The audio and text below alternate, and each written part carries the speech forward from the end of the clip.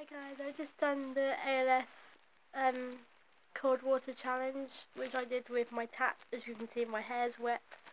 Um, I nominate Gethin Jones from Heart Radio, Ollie Murs, Conor Maynard, um, Aldre Musica, um, let's see, uh, Double G from the cast of Game Shakers, um,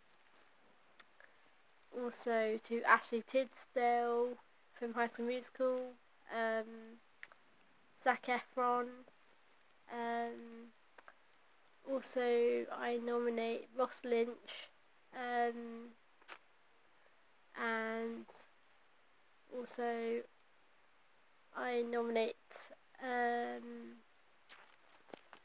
some others now. Um, I, I also want to nominate um,